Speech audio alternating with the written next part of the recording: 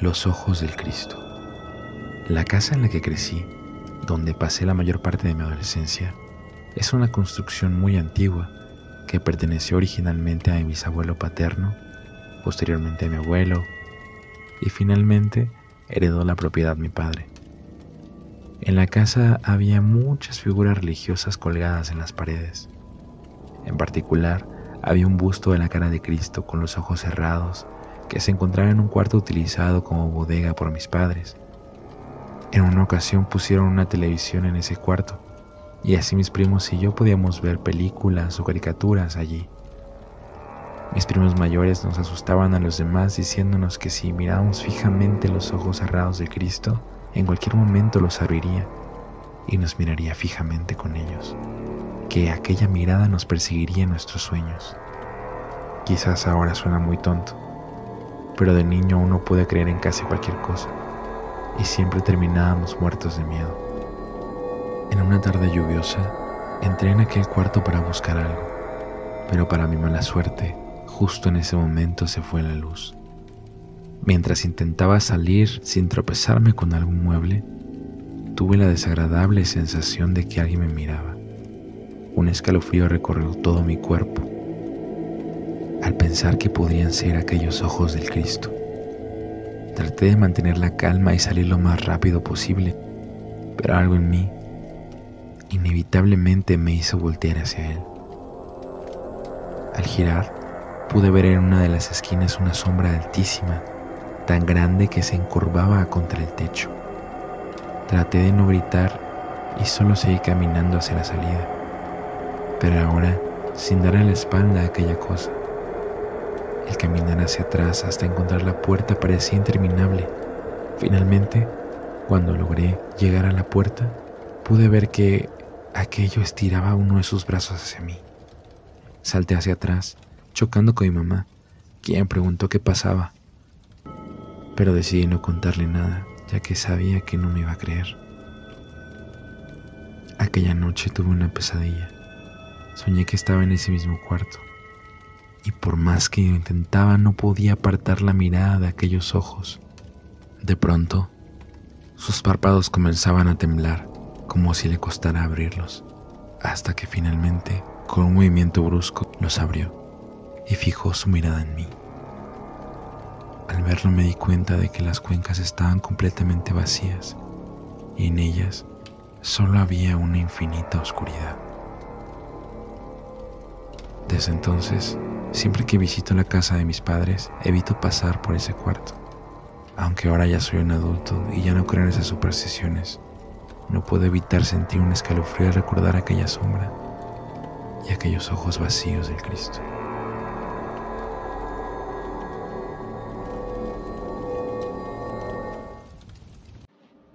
Las figuras religiosas que nos acechan.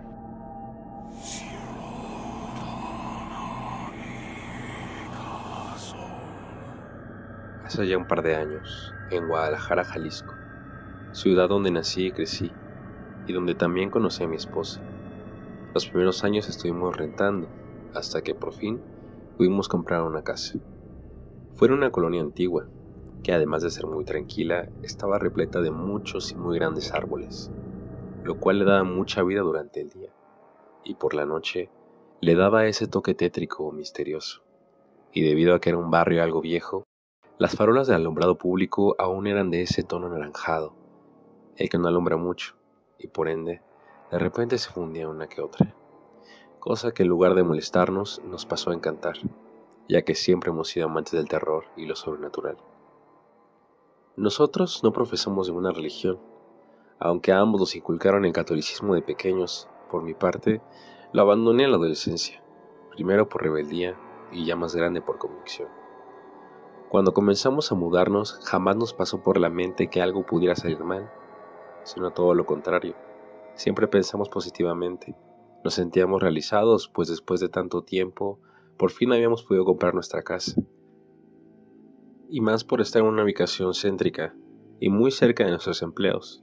Pero, un día, de pronto todo comenzó. Ocurrió tan de repente que para nada lo esperábamos. Aquel día era viernes, estaba a punto de oscurecer, A pesar de que había llovido la mayor parte del día, para muchos los viernes son sinónimo de fiesta, de desvelarse, tomar, etc. Pero para mí era un día de relajación, ya que era el fin de mi jornada laboral, la cual no iniciaba nuevamente hasta el lunes. Con mi paraguas en mano, caminaba rumbo a mi casa, bajo nubes negras, llovizna y truenos, que solo anunciaban la gran tormenta que se venía. Caminé varias cuadras hasta que por fin llegué. Mi esposa me recibió con un beso, como siempre, aunque esta vez fue un poco menos efusivo, debido a que llegué algo mojado y lo que quería era subir a quitarme esa ropa, darme un baño, bajar a cenar, y así fue. Era para mí la noche perfecta. Fin de semana, me podía desvelar con mi esposa viendo películas de terror, y como buen cliché, teníamos de fondo los truenos, relámpagos, la lluvia. Nuestros gatos, que también ya habían cenado, parecía que también los había relajado la lluvia, pues se quedaran dormidos, y así ya no los tendríamos corriendo de aquí para allá. Todo parecía perfecto, mirar la lluvia un rato. Fumamos un cigarro y optamos por eso en lugar de las películas. La tormenta, que estaba en el pleno apogeo, sacudía de un lado a otro los árboles. Los relámpagos iluminaban el cielo, hasta que uno brilló tanto que logré iluminar gran parte de la calle, y segundos después un estruendoso sonido originado por un rayo fue tan fuerte que vibraron los vidrios de las casas alrededor, y así varios relámpagos siguieron, hasta que lograron que cortaran el servicio de electricidad. La lluvia comenzó a hacerse más fuerte, al lado de no lograr ver las casas de enfrente. Debido a la inmensa cortina de agua, de pronto, un sonido más nos alertó. Se escuchó el abrir y cerrar de la puerta de la sala. En ese momento nos quedamos mirándonos el uno al otro hasta que mi esposa me dijo con una risa nerviosa, vamos a ver qué pasó. Tan pronto terminó de decirlo, tomamos los celulares, encendimos la linterna y salimos a ver qué había ocasionado ese ruido. Apenas salimos de la recámara y lo que pudimos ver con la luz del móvil nos borró la sonrisa de inmediato. Había manchas de lodo y pequeños charcos de agua, comenzando desde abajo y terminando en la recámara de al lado. Primero quisimos pensar que fueron los gatos, pero sabíamos que era imposible que pudieran abrir y cerrar la puerta. Lo segundo que pensamos fue que se había metido a robar, cosa que también era poco lógica, pues estábamos en el balcón y nunca vimos entrar a alguien a la propiedad. Decidimos calmarnos, nos armamos de valor y revisamos el otro cuarto, el cual utilizábamos como guardarropa y recámara de visitas. Apuntamos la linterna a todos los rincones, pero no vimos nada. Las manchas terminaban apenas a un metro de la puerta. Quisimos olvidarnos de eso, iluminando con los teléfonos, las trapeamos y después nos fuimos de nuevo al balcón. Fumamos varios cigarros, intentamos buscar la idea más lógica posible y nos quedamos con una que, aunque no nos convencía del todo, nos hacía al menos creer que no estábamos asustados. Más tarde nos terminamos quedando dormidos en la cama, hasta que un sonido me despertó. Desde la sala se escuchó como si alguien estuviera llamando a los gatos con un... Al principio creí que era mi esposa, así que me giré para volver a dormir, y ahí estaba ella, dormida junto a mí. En ese momento sentí una sensación de vacío en mi estómago. Sentí mi boca secarse y me paralicé por un momento, y más porque olvidé escuchar ese sonido. Al mismo tiempo que se escuchaba una risa ahogada, como cuando te tapas la boca. Cuando al fin pude moverme, Moví a mi esposa para que se despertara, pero no lo conseguí. Admito que a pesar de ya no considerarme católico, me dieron ganas de pararme por un rosario y un crucifijo que teníamos aún guardados en una caja. No pensábamos ponerlos en ningún lado, pero nos los habían obsequiado. Unos amigos al saber que nos mudaríamos. Ellos nos dijeron que estaban benditos y eran para protección, pero no podía ni levantarme de la cama, pues estaba aterrado. Después de pensarlo por unos minutos y al ya no escuchar los ruidos, me atreví a pararme y dirigirme al closet de la recámara de al lado para ir por la cruz. Tomé mi teléfono y encendí la linterna. Ahí me di cuenta que uno de los gatos estaba en la entrada de la habitación, observando hacia abajo. Uno de ellos comenzó a gruñir. A este último lo tomé en brazos para llevarlo conmigo por el crucifijo. Así al menos no me sentiría solo. Abrí la caja, lo saqué y rápidamente me dirigí al cuarto mientras en mi mente comenzaba a recordar las oraciones que me enseñaron de niño en el catecismo. Pero al salir el gato pegó un gruñido y saltó de mis brazos para irse con los otros, que corrieron hacia abajo de la cama. Por instinto, dirigí la luz y mi mirada hacia las escaleras, Y entonces vi esa imagen que aún me provoca terror. Un Cristo de tamaño real se dirigía a mí, subiendo los escalones con pasos largos y apresurados, que los pasaba de dos en dos. Estaba completamente desnudo, cubierto de sangre, con su corona de espinas. Quedé paralizado, sentí como si me fuese a desvanecer.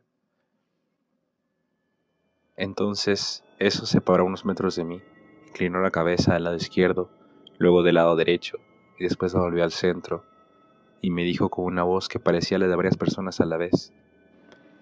Me estás rezando a mí. Estás rezándome a mí. Soltó una carcajada y me dijo, Ven, hijo mío, acércate. No temas. Yo soy el Cordero de Dios. Anda. Soy real. Introduce tu mano en mi costado. Dijo eso al mismo que metía su mano en esa herida y la retorcía. Luego la mano izquierda la puso sobre su boca y por el orificio de ésta pasó su lengua larga y oscura, moviéndola de arriba abajo, para después echarse a reír de nuevo y decir, A este es al que le rezas. No puede ayudarte. No existe. Yo soy más que él. De repente, los gatos empezaron a maullar como si estuvieran en celo, a lo que este ente volteó, les gesticuló y les devolvió gruñido. Y eso fue lo último que recuerdo, debido a que caí enseguida desvanecido. Mi esposa me contó lo siguiente. Al oír a los gatos, se despertó a callarlos. Vio que no estaba y comenzó a llamarme. Al no obtener respuesta de mi parte, se paró de la cama. Intentó prender la luz, pero aún no regresaba la energía eléctrica. Volté al pasillo de afuera y vi una luz. Era mi linterna que alumbraba desde el piso. Se asustó, salió y me encontró tirado. Y enseguida intentó despertarme, pues pensó que me había caído. Revisó que no tuviera ningún golpe o hemorragia, y sintió alivio al ver que no. Cuando iba a llamar a emergencias, ya que ya no sabía si había sido algo grave, escuchó una voz de mujer que le pareció conocida, y ésta le dijo, Duérmete, va a estar bien. Primero ella lo atribuyó a que aún estaba adormecida, pero la volvió a escuchar. No tiene nada, solamente se desmayó. Sintió que iba a entrar en shock, pues recordó lo que había pasado unas horas antes. De la desesperación, comenzó a gritarme y sacudirme para reanimarme, cuando de pronto un siseo de los dos gatos la alertó. Giró al ver qué era lo que pasaba, y de nuestra cama se levantó una figura, misma que se sentó a la orilla de la cama y se puso de pie dirigiéndose a ella. Quiso tomar mi móvil para iluminar, pero no pudo. También estaba paralizada. Entonces, entre lo que pudo ver, dijo que era mi mamá, la cual sabía que había muerto hace cinco años, por lo cual era imposible. La figura se paró frente a los dos, se tomó la mandíbula con una mano y con la otra el cabello, haciendo movimientos como si ésta fuese a masticar. Esta cosa le estiró la mano y le dijo, Vente. Ahí déjalo. Vamos a divertirnos tú y yo. Para después soltar una risa corta. Trató de rezar y este ente se inclinó para sentarse frente a ella. Cruzó las piernas, apoyó los codos en las piernas, recargó la cabeza en sus manos y sonriendo le dijo: Oremos juntas. Pidamos por él al de la cruz. Mi esposa comenzó a llorar. Cerró los ojos apretándolos fuerte. Gritó al sentir que algo se abalanzó contra ella pero solo era Julián, el más grande de los gatos, que comenzó a sisear y gruñir. Cuenta que solo escuchó una risa más, pero ya no quiso abrir los ojos y solo se quedó ahí, sentada junto a mí. Abrazó a Julián hasta quedarse dormida. A la mañana siguiente, desperté desorientado, sin saber dónde estaba. A recobrar el conocimiento vi a mi esposa recostada en mis pies, aún dormida, y a Julián sobre su costado. La desperté. Se me quedó viendo un momento y se lanzó a abrazarme enseguida. La energía eléctrica ya había vuelto, pues vimos el foco de la recámara encendido. Nos levantamos y le pregunté qué sucedía, que por qué lloraba, pero me dijo que fue una tontería, que salió del baño, me había acostado en el piso y se asustó, y al ver que no reaccionaba, se desmayó. Yo dudé en lo que me dijo, pues en ese momento recordé lo acontecido anoche. Enseguida se lo conté, y ahí fue cuando ella también me relató lo que había pasado. Fui al vestidor a cambiarme y noté algo extraño, Enseguida llamé a mi esposa que rápidamente vino. Le señalé el sofá cama. Ahí estaban dos figuras talladas en piedra. Lo más extraño es que esas mismas figuras las habíamos visto un domingo antes, en un mercadillo de antigüedades. Y sé que eran esas porque estuvimos a punto de comprarlas, pues nos gustaron mucho.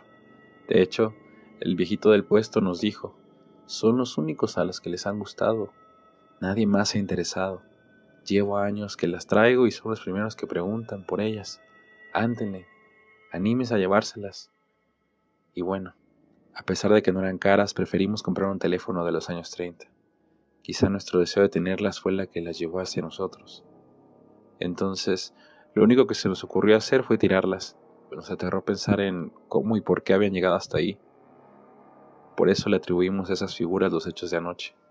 Creímos que manteniéndolas lejos de la casa ya no sucedería nada raro, pero estábamos muy equivocados. Un par de días después encontramos las figuras en el patio. Nos dimos cuenta porque Julián venía gruñendo hacia donde estaban las figuras. Casi grité al verlas. Entramos en pánico, las rompimos y las tiramos, esta vez en el camión recolector de la basura. Y sí, al día siguiente estaban los pedazos en la entrada. Tal vez tontamente intentamos varias veces más deshacernos de ellas, pero siempre regresaban. Aparecían en distintos lugares de nuestro lugar. Resignados no volvimos a tirarlas. Intentamos pedir ayuda con una santera y nada. Fuimos a buscar el puesto donde las vimos, pero nos dijeron que no ubicaban a nadie con esas características. Pedimos ayuda a otra persona, de esas que dicen practicar la magia negra. Lo único que nos pudo decir fue que esas estatuillas eran de origen africano y que eran dos seres los que llegaron con ellas, pero que estaba fuera de su alcance ayudarnos. Decidimos irnos de la casa, la pusimos en renta y optamos por irnos a una casa que nos prestaron momentáneamente, creyendo que así nos libraríamos de esas cosas. Pero no fue así. Hoy llevamos unas semanas viviendo aquí, y aunque contradictoria a lo que creemos, llamamos a un cura para bendecir la casa. Roció agua bendita y leyó unas cuantas oraciones, y como ya le habíamos dicho más o menos lo que pasaba y que no éramos católicos, decidió dejarnos un crucifijo como de medio metro y un cuadro de la Virgen de Guadalupe. Los colgó en la sala, pero fue inútil. Horas más tarde de eso, escuchamos risas burlándose. En esa misma noche me despertó un dolor. Era una mordida en el talón. Primero creí que había sido alguno de los gatos. Ya cuando desperté bien, escuché una voz que venía del lado de mis pies en la cama. Hijo mío, ven, no temas. ¿Quieres comer de mi cuerpo? ¿Quieres beber de mi sangre? Y terminando de decir eso, lamió la planta de mi pie derecho y dijo, Come de mi cuerpo, y yo como del tuyo. Sentí de nuevo ese hueco en el estómago y me paralicé. No pude siquiera emitir sonido alguno. Apreté los ojos y quise pensar en otra cosa, pero no pude. Entonces una segunda voz escuchó. Mi pequeño, ven con mamá, yo te protejo. Mientras dice esas palabras, tomó mi mano y la puso sobre su rostro. Mi corazón comenzó a latir de tal manera que creí que moriría, y más a sentir su mano y su rostro, que se sentía como un montón de filetes crudos pero calientes. Entonces volvió a hablar. Ya hablamos con el hombre de la sotana negra que vino. No te preocupes por él. No volverá a molestarnos. Quería separarnos. Reaccioné un poco y en mi mente intenté rezar el Padre Nuestro, o al menos lo que recordaba. Padre nuestro que estás en el cielo, santificado sea tu nombre. El ser se rió. Tomó mis pies y con una voz fuerte entre burlona y enojada dijo, Venga a nosotros tu reino. Ya no pude continuar, y supuse que sabían lo que pensaba, por ende sabían que tenía miedo. Como pude intentar gritar sin abrir los ojos, y después de unos segundos por fin salió de mi garganta ese grito desesperado. Casi al instante mi esposa despertó y me preguntó si todo estaba bien. Yo aún sin abrir los ojos pregunté, ¿eres tú? A lo que respondió, pues sí, ¿quién más? ¿Estás bien? No, le dije, aquí están, me están hablando. ¿Quién? preguntó. Son esos cabrones, ¿verdad? Los seres esos pero me calmé cuando me dijo que no había nadie. Abrí los ojos y en efecto solo estábamos los dos. Le abracé fuerte y procedí a contarle todo. Al hacerlo casi se me salían las lágrimas. Esa noche no dormimos. Dejamos la luz encendida y la televisión y nos quedamos así hasta que amaneció. Por la mañana mientras desayunábamos decidimos hablar sobre qué haríamos. Ya no podíamos hacernos los tontos. Necesitábamos tomar una decisión una de la cual nos arrepentimos hasta el día de hoy, que fue comunicarnos con esos seres. Los primeros intentos no recibimos respuesta alguna, fue por ahí por el octavo intento cuando respondieron. Respondieron a las preguntas que les gritábamos a las estatuillas. ¿Quiénes son? ¿Qué quieren? Nos quedamos unos segundos en silencio y fue interrumpido por un ps, ps, ese sonido como cuando alguien te habla. Sentimos miedo, pero teníamos que continuar. De pronto se escucharon dos voces hablar a la vez y dijeron, No sabrán qué somos, ni cómo nos llamamos, pero sí qué es lo que queremos. Mi esposa me tomó de la mano y me señaló horrorizada la Virgen. La Virgen de Guadalupe era la que estaba hablando. Yo solo me quedé inmóvil y la imagen continuó hablando, respondiendo a la segunda pregunta. Solo tres cosas queremos. La primera es que sepan que somos los dueños de este mundo. Segunda, que ningún Dios existe. No hay cielo, infierno o vida eterna. La tercera es que la humanidad tiene el tiempo contado. La imagen volvió a la normalidad y la casa pareció de pronto muy oscura, como si no entrara luz por las ventanas. Nos volteamos a ver. Nos tomamos las manos y mi esposa me dijo, no sé qué pasa, pero tengo miedo. Solo pude abrazarla sin decir nada, pues además de la impresión, estaban haciendo eco aquellas palabras, pues al final de cuentas no comprendí por qué nos atormentaban a nosotros, pero quizá tenían razón, ya que ni los rezos, ni el agua bendita o las imágenes pudieron hacerles algo. Aún nos da miedo, pero tratamos de pasar más el tiempo en el jardín o fuera de la casa, porque se volvieron más habituales las manifestaciones, voces, risas y ruidos cuando estamos dentro. Ni siquiera hicimos ya el intento por investigar qué son o si se podía hacer algo más para protegernos contra ellos, puesto que en todo momento parece que continúan observándonos. Y al menos así, creemos que por lo pronto no nos harán daño. Tampoco volvimos a contárselo a nadie, puesto que las veces que lo hicimos, únicamente fingieron interés en escucharnos y terminaron burlándose, sin saber que solo intentábamos prevenirlos.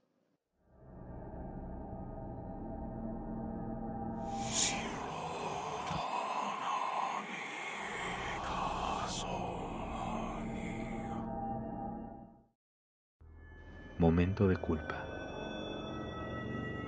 La culpa quería un momento de mi tiempo. Yo le pregunté, culpa, ¿en qué podría yo ayudarte? Ella me dijo, he tocado a muchos, a los buenos, los malos, a aquellos que hubiera pensado serían inmunes a mi persuasión y he logrado reducirlos a ser meras sombras de sí mismos. He tomado a los fuertes, a los heroicos, a los débiles, hasta los despreciables por igual. Invado cada uno de esos pensamientos, cada uno de esos movimientos. Sus matrimonios fracasan, se deprimen, caen en la desesperación. Algunos no logran sobrevivir, pero la mayoría emerge con una gran mejoría. ¿Cómo es eso posible? Pregunté. ¿Cómo es que alguien puede mejorar después de haber sufrido tanto dolor? La culpa respondió. Los hago verse a sí mismos por quienes son en realidad. ¿Y cuál es el objetivo final de eso? Le pregunté. Con pesar en su voz, la culpa dijo, ese es el problema. Me he llegado a odiar a mí misma. Odio lo que hago. Me siento terrible. Así que estás sintiendo la ira de la culpa. La culpa miró hacia abajo y solamente asintió. La culpa volteó de nuevo hacia mí y me dijo, he intentado llegar a ti una y otra vez, pero nada parece funcionar. ¿Por qué crees que sea eso? Le pregunté. La culpa respondió, porque eres un monstruo. Así que te tomó todo este tiempo el finalmente darte cuenta y llegar a esa conclusión. El siguiente relato se titula Secretos Mortales. Que lo disfrutes. Amor, ¿me das tu contraseña? Preguntó ella con una sonrisa en su rostro. El hombre solo se quedó callado, sintiendo cómo el nerviosismo le humedecía la frente. La tensión en la habitación era palpable mientras ambos se miraban fijamente. Vamos, amor. Pensé que había confianza. Ya llevamos varios meses juntos. Insistía ella con una mirada intensa puesta sobre él. Ahora, dame tu contraseña. El hombre seguía pasmado, incapaz de articular ni una sola palabra. Múltiples pensamientos invadían su mente, tratando de encontrar una solución, alguna manera de salir de esa situación. Dame la maldita contraseña, dijo ella sin dejar de apuntarle con el arma. La frialdad en su voz hizo que un escalofrío recorriera la espalda del hombre. El temor lo invadía, pero sabía que no tenía otra opción. Con las manos atadas y sintiendo el peso de la circunstancia, decidió ceder. Está bien, te la daré, pero por favor, tranquilízate. Suplicó el hombre con voz temblorosa. La contraseña es... Ahora, desata a mi esposa y a mis hijos. Ellos no tienen la culpa. La mujer sonrió de manera siniestra, delintándose con su victoria. Lentamente se acercó a la caja fuerte su atención dividida entre el hombre y el objetivo que tanto anhelaba. Descuida, los dejaré ir, susurró ella, mientras lograba abrir la caja fuerte. El hombre solo podía pensar en que deseaba que fuera verdad lo que ella decía, que los dejaría ir. Pero no podía evitar sentir que algo aún más oscuro estaba por ocurrir.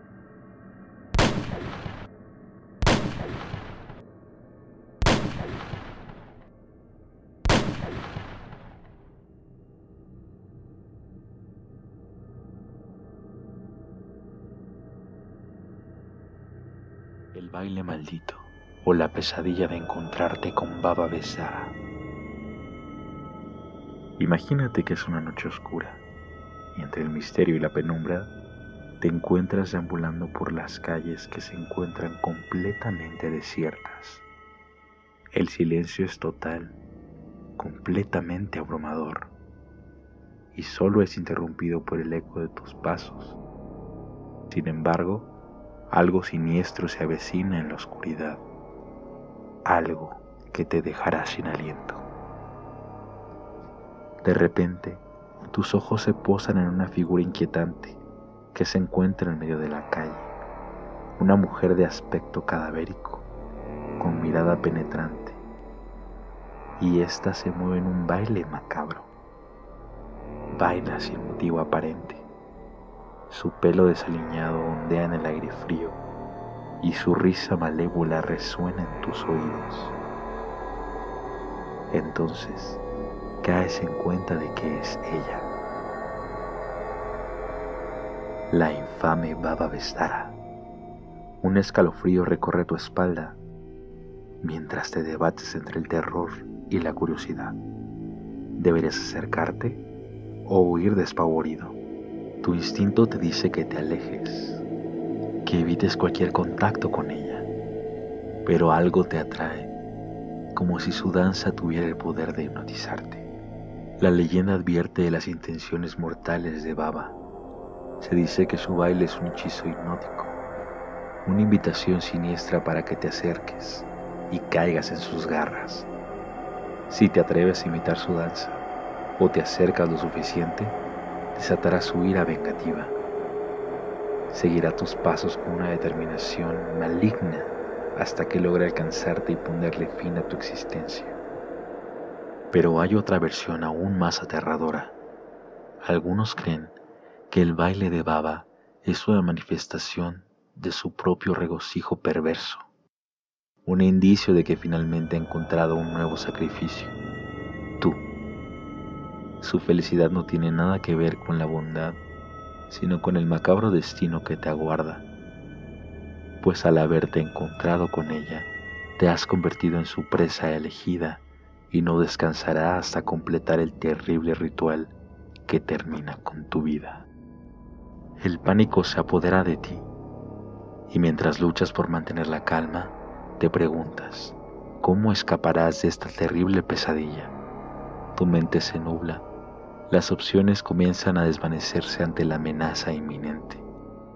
Corres y corres a través de las calles, pero sientes su presencia acechándote en cada esquina. Tus latidos resuenan en tus oídos, mientras la oscuridad se cierra a tu alrededor.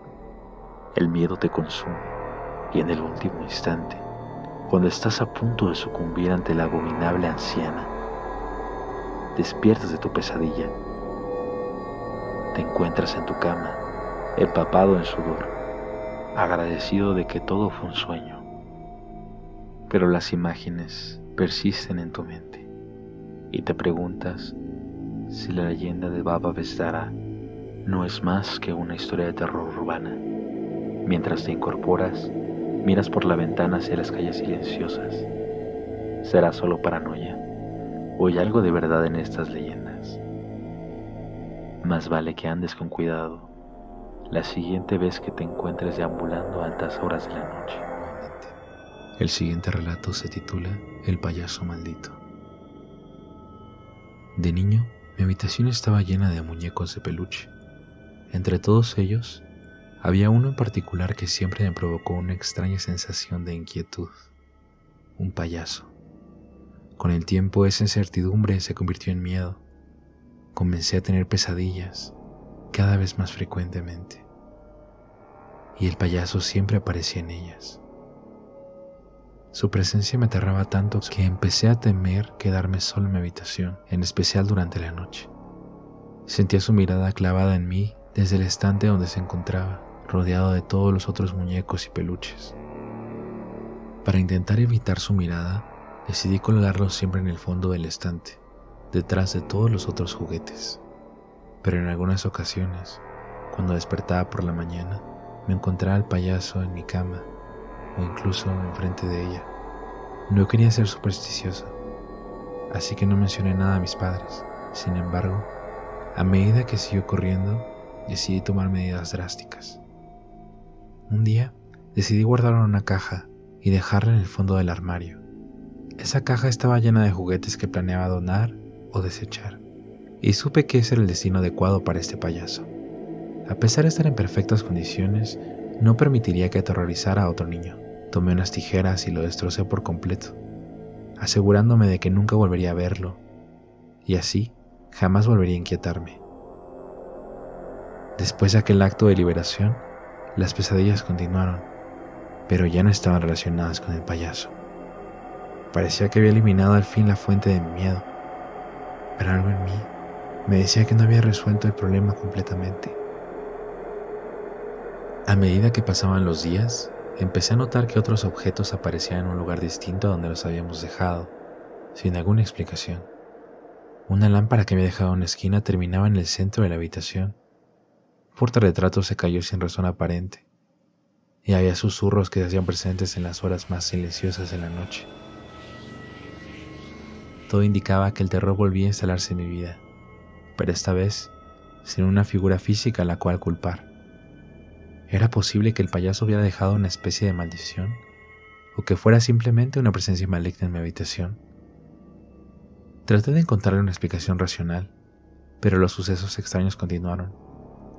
Cada vez eran más intensos y perturbadores. Finalmente, cuando no pude soportarlo más, le conté todo lo sucedido a mis padres, desde las pesadillas hasta los objetos en movimiento y los siniestros susurros por las noches. Preocupados por mi bienestar, le abrieron a un experto en estos casos que conocía a una vecina.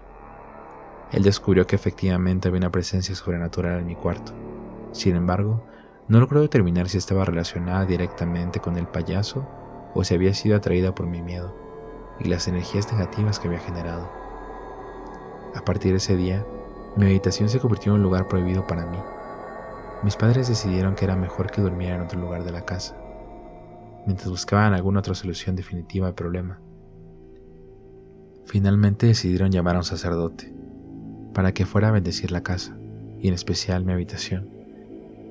El lugar fue sometido a todo un proceso de limpieza espiritual y bendición, utilizando rituales sagrados y elementos purificadores para asegurarse de que ningún rastro del mal permaneciera allí.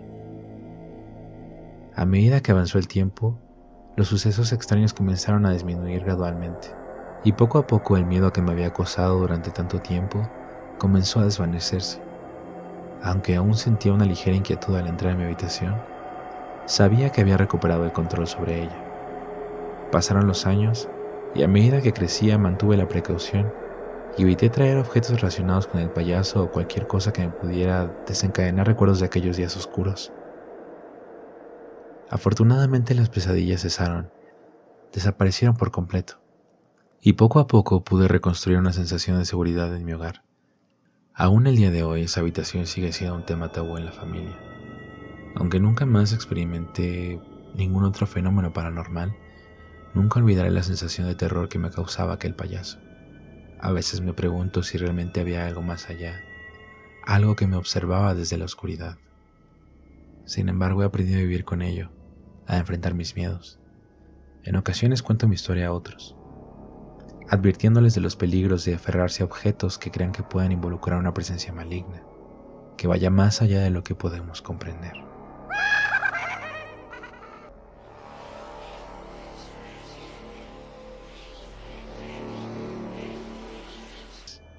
El siguiente relato de terror se titula Frente a la tumba de mi padre. Que lo disfrutes. Papá, siempre fuiste un ser violento, lleno de odio. Y me hiciste mucho daño cuando era niño. Pero heme aquí, después de tantos años, parado frente a tu tumba. El hijo dejó escapar un suspiro mientras los terribles recuerdos de su infancia resonaban en su mente pero su determinación no se desvaneció. Sabía que había llegado el momento de enfrentar sus demonios del pasado y al fin cerrar ese capítulo tan oscuro de su vida de una vez por todas. Pero hijo, sácame de aquí. Aún no estoy muerto, exclamó su padre con una voz entrecortada y desesperada. El hijo se detuvo un momento con los ojos llenos de furia y resentimiento, respondió, Lo sé. Y continuó lanzando tierra. Las súplicas del padre se volvieron más desesperadas, pero el hijo permaneció impermutable. A medida que la tumba se llenaba lentamente, el hijo saboreaba su venganza. Se regocijaba en la impotencia de su padre, atrapado bajo la tierra escuchando sus súplicas desesperadas. Cada golpe de la pala era un acto de liberación, un paso más hacia la redención personal, hacia la libertad. Finalmente, cuando la tumba estuvo completamente cubierta, el hijo se quedó por un momento allí, observando el montículo de tierra con total satisfacción. Y entonces, se alejó sin mirar atrás, pues sabía que nunca más volvería a ser víctima de su padre. Dejó el lugar, sabiéndose triunfante por haber encontrado el coraje para enfrentarlo y enterrarlo de una vez por todas.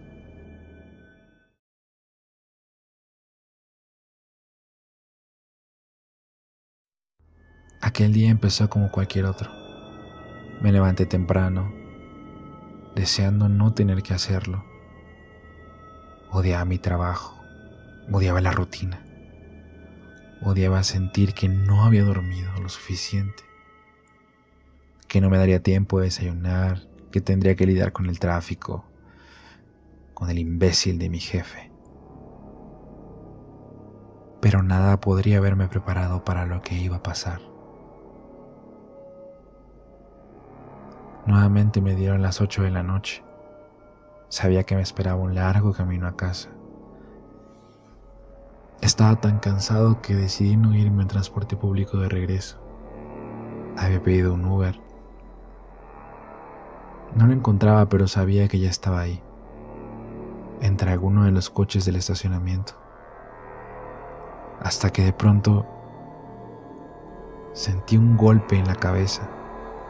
Al despertar, no veía nada. Me di cuenta que tenía una venda en los ojos. Sentí que íbamos en movimiento, seguramente en una camioneta. Eso parecía al menos. No lograba ver nada y apenas si podía moverme. De pronto, escuché que nos estacionábamos. Escuché las voces de dos tipos, pero no entendía lo que decían. Desperté por completo cuando volví a sentir otro golpe, pero este era en todo mi cuerpo. Había caído contra el suelo. Sentí tierra en mis manos. El tipo me arrastró. Escuchaba ruidos, pero no percibía realmente qué eran. De pronto, me quitó la venda de los ojos. Me encontraba atado en las vías del tren. Entre el shock y el miedo, trataba de buscar una lógica, alguna manera de entender qué había pasado, quién lo había enviado, si era una broma o, alguna razón. Fuera lo que fuera. No me hace sentido que si estaba secuestrándome me tuviera ahí. Y de pronto reconocí el lugar. Aquellas vías del tren llevaban abandonadas años. Ya nadie ni nada pasaba por ahí.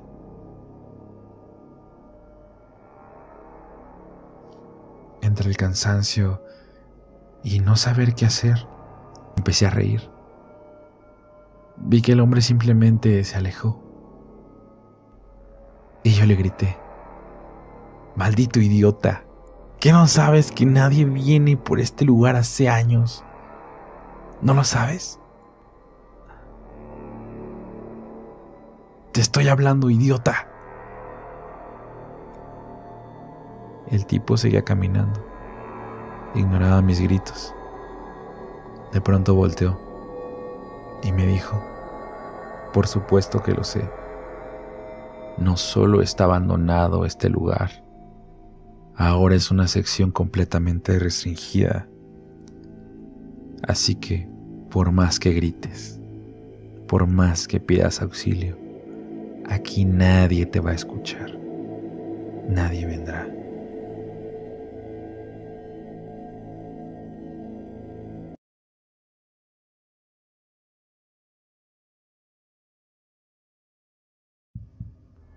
Había pasado varios meses muy feliz, cómodo, tranquilo, disfrutaba de todo el tiempo en el que estaba yo ahí, de cómo me cantaba, de sus paseos, sus antojos, constantes caricias, hasta que ocurrió algo completamente inesperado para mí.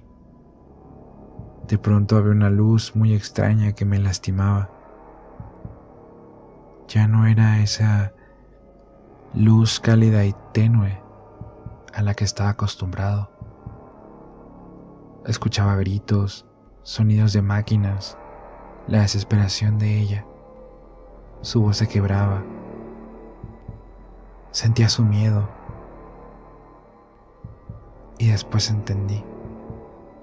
Entendí que era hora de salir, de verla por fin. Pasaron muchas horas y después de luchar desesperadamente para dar indicios de vida y alertar a los médicos de que yo estaba bien, vi a una mujer que vio el brillo en mis ojos. Creí que era ella hasta que noté un uniforme blanco. De cualquier manera sabía que ella estaba cerca. Sentí que algo nos unía aún. Pensé que estaba a salvo, pero esta mujer de traje blanco sonreía maliciosamente mientras decía, Listo, doctor, ya todo está listo para la extracción de órganos. Podemos proceder ahora con la primera incisión.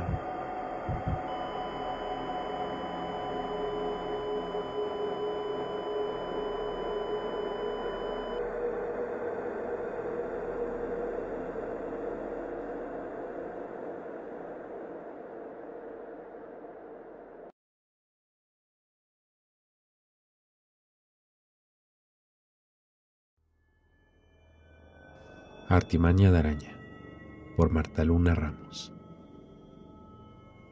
Puntual, como todos los días, a las 5 de la mañana, don Juan camina rumbo a su trabajo, la estación de ferrocarril.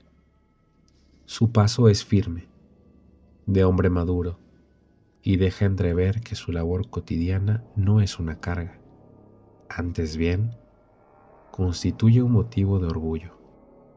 Presuroso, recorre las oscuras y silenciosas calles empedradas del apacible pueblo, que empieza a despertar. Esas calles no le son conocidas. Su rutinario transitar a la estación de ida y vuelta le hace sentir las familiares. Esta vez, en su trayecto, algo le hace reparar en la ventana abierta de una casa.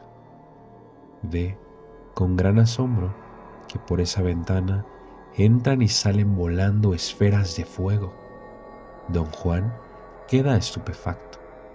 Son bolas de unos 30 centímetros, moviéndose por sí solas a considerable velocidad. Aunque esto le produce mucha intriga y quisiera quedarse a observar y reconocer lo que está sucediendo, reacciona. Al consultar su reloj de bolsillo, se da cuenta de que si no se apresura, llegará tarde al trabajo. El resto del día, sus labores casi le hacen olvidar el incomprensible incidente del que fue espectador esa mañana. Al final de la jornada, puntual, a la hora que el silbato lo anuncia, se pone su chamarra de mezclilla y el sombrero de fieltro y se encamina rumbo a su hogar. Pasa nuevamente por la casa a la ventana abierta. La reconoce a la luz del día. Dentro se escuchan lamentos de mujeres. Curioso, se asoma por la ventana y descubre el motivo de los llantos. Su naturaleza de hombre justo y compasivo le hace preguntarles desde la calle si requieren ayuda. Ellas solo le señalan la cama, donde una pequeña niña, de unos tres años yace inerte. Su ayuda, le dicen, dándole las gracias, ya es inútil. Nuestro angelito se ha muerto. Nada podemos hacer por ella. Don Juan se siente impactado. Enmudecido se retira de ahí. No tiene la fuerza suficiente para relatar a esas señoras sobre las extrañas bolas de fuego que vio allí por la mañana y que podrían tener alguna relación con el caso. Aunque, ¿qué explicación podría darles? Estaba tan confundido, parecía todo tan irreal. Sin embargo, trata de averiguar con los vecinos si notaron tan extraño fenómeno. Algunos evaden responder otros lo niegan entre duda y espanto. En su búsqueda, llega a un solar donde en el fondo se encuentra una barraca cuya entrada está prácticamente oculta con matorrales. En el interior, semioscuro, lleno de triques impregnados al igual que todo, a olor de viejo, a suciedad, a decrepitud, alcanza a divisar a una anciana que parece enroscada en un camastro y cuyo aspecto hace juego con su derredor. A pesar de su repugnancia, don Juan siente algo instintivo que lo hace introducirse al lugar. La anciana, entre señas, balbuceos y algunas pocas palabras, lo hace acercarse. Don Juan trata de explicar la razón de su búsqueda, aunque con muchas dudas de que pueda entenderlo y revelarle algo acerca de ello. Inesperadamente, la mujer se vuelve más comunicativa, se revuelve en el camastro y ante la sorpresa y el espanto de él, clavándole unos ojos terribles, le dice con voz cansada que algunas veces del cerro cercano bajan volando unas bolas de fuego que se introducen en las casas donde hay niños pequeños. Son brujas, le asevera. vienen a chuparle la sangre a los niños. Así se alimentan de su energía, pero además de esa forma se duplican. Don Juan queda pasmado. Difícilmente puede reaccionar ante tan espantoso hecho. Por fin, las palabras salen de su boca. Pero, ¿usted cómo lo sabe? ¿Y por qué no ha avisado a la policía y alertado a la gente? Verá, dice la anciana, ya estoy muy vieja y cansada. Ahora soy como una araña, esperando que a mi nido llegue una presa, como ahora llegó usted. En poco tiempo y sin ofrecer resistencia, don Juan, hombre al fin, se dejó envolver en las redes de la bruja araña, quien repentinamente se había transformado en irresistible y voluptuosa hechicera. Los vecinos no escucharon el grito ahogado, escalofriante de don Juan, de quien no se volvió a tener noticia. Pero cuentan que algunas noches de ese solar entran y salen volando bolas de fuego. Algunas personas, haciendo gala de mayor conocimiento sobre estos hechos, afirman que las dichosas bolas de fuego son enviadas por la hechicera como una magnífica artimaña para atraer a sus presas.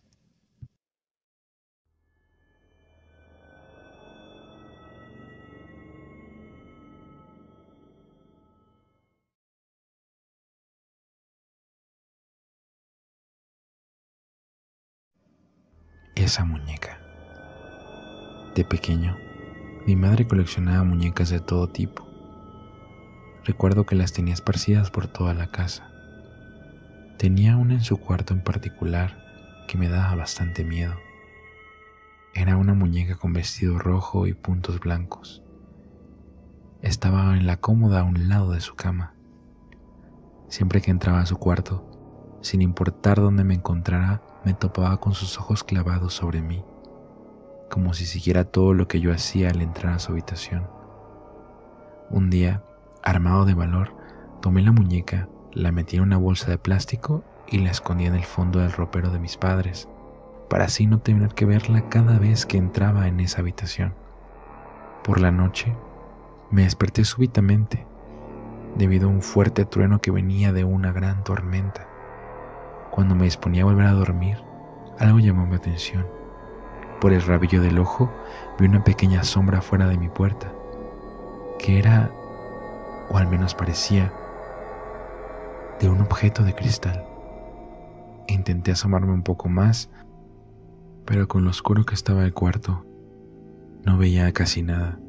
Entonces, un relámpago iluminó brevemente el pasillo afuera de mi cuarto, y ahí fue cuando la vi. Muñeca. Asustado, corrí a mi cama de nuevo. Me cubrí con las sábanas intentando asimilar lo que posiblemente había visto. Y ya no supe en qué momento, pero volví a dormirme. Por la mañana siguiente, mi madre me envió a su habitación por su bolsa, ya que íbamos de salida. Al entrar y dar con ella sentí un escalofrío en la espalda. Me giré y ahogué una exclamación. Sobre la cómoda estaba la muñeca en la misma posición de siempre, con aquella mirada siguiéndome. Quise pensar que mi madre la había encontrado en el escondite donde la dejé, pero al ver que me demoraba, ella fue a buscarme y me preguntó dónde la había encontrado, ya que la tarde anterior se la había pasado buscándola por todas partes sin dar con ella. Quizá, y solo quizá, no aluciné lo que creí ver la noche anterior.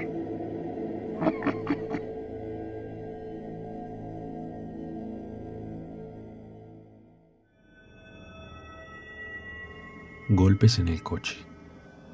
Una familia, compuesta por dos pequeños y sus padres, viajaban por la carretera a Cuernavaca cuando el coche se les averió.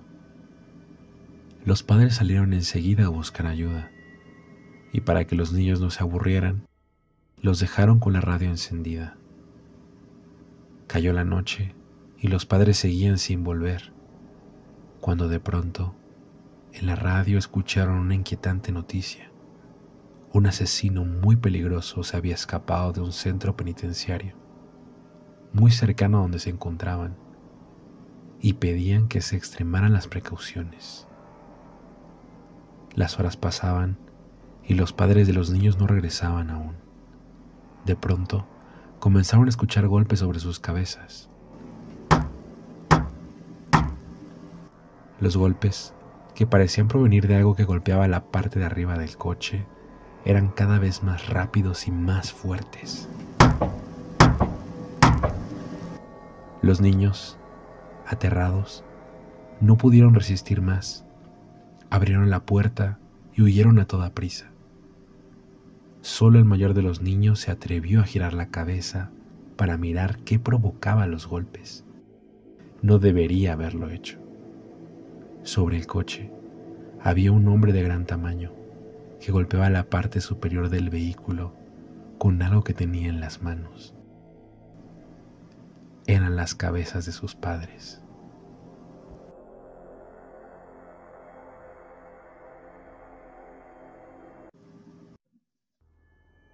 ¿Y en serio eres famosa? preguntó el hombre entusiasmado. Se puede decir que sí, respondió ella. Vaya, nunca me había acostado con una famosa, dijo él mientras se ponía la camisa. Eres muy guapa. Pero si eres famosa, ¿por qué nunca había visto tu rostro antes? Antes de poder escuchar la respuesta, el hombre recibió un potente golpe en la cabeza. Digamos que tengo otro tipo de fama, respondió la asesina en serie.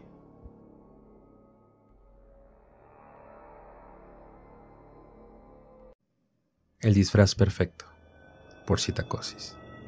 Ponte el disfraz una vez que vamos a llegar tarde, advirtió la mamá. Ya casi estoy. Mira, solo me falta el parche, contestó el niño y se marchó a su cuarto. Se miró con atención en el espejo, se puso el parche y comenzó a sentirse incómodo, de manera que terminó por quitárselo. Se miró el ojo derecho con detalle, primero lejos del espejo y luego tan cerca que no lo distinguía. Notó que faltaba algo importante y entonces sonaron sus pasos apresurados por la tarima. Acercó la mano al bote del escritorio, tomó unas tijeras, un punzón, una grapadora, lápices de puntas afiladas. ¿Quieres darte prisa de una vez? Su madre gritó. El niño eligió el punzón apresuradamente y lo clavó con tanta fuerza y decisión como le fue posible. Se escuchó un grito ahogado y luego silencio. La mujer subió y lo encontró sentado frente al espejo, con el punzón en la mano y el parche en el ojo. Había sangre por todo el escritorio. Dios santo, ¿pero qué has hecho? preguntó aterrada a lo que el pequeño contestó. Es que el oro no se quedaba quieto en mi hombro. Libertad, de Jorge Duarte. Aquel viejo y fuerte árbol donde colgaban las cuerdas del columpio, allí viví mi infancia. Pasé mi adolescencia recostada bajo su sombra, leyendo y tomando cerveza. Concuerdo que la naturaleza es armonía, paz y libertad, sobre todo libertad. Me liberó de mi cuerpo cuando me ahorqué.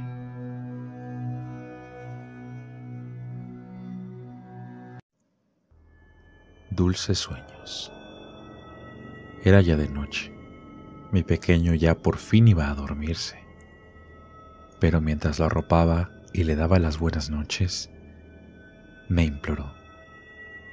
Papi, antes de que te vayas, por favor mira bajo la cama para asegurarte de que no hay monstruos. Sabía que eran simples supersticiones, la imaginación de un niño, pero decidí complacerlo. Sin embargo, al mirar bajo la cama, a quien encontré fue a mi hijo, que temblando me susurró, Papi, hay algo sobre mi cama.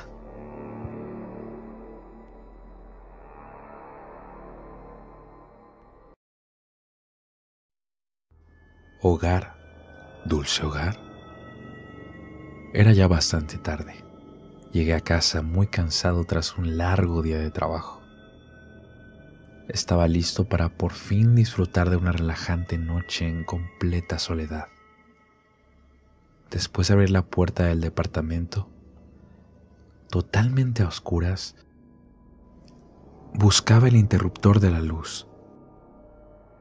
Escuché la puerta automática cerrarse detrás de mí y nuevamente, en total oscuridad, aún buscando torpemente el interruptor, hasta que por fin sentí que lo había encontrado. Estaba a punto de encender la luz, hasta que sentí que ya había otra mano sobre él.